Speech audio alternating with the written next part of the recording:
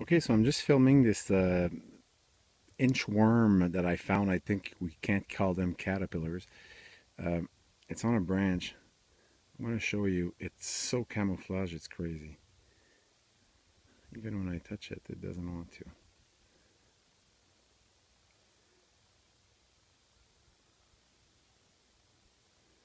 Yeah, it's trying to stay camouflaged, but we see we can see really well.